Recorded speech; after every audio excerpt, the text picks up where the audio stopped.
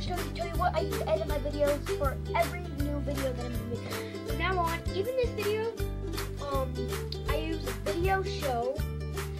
I'll have the word right here. It says Video Show right here. Anyway, guys, um, be sure to, um, you know, shout out to this person right here for helping me in my movie. Anyway, guys, I use Video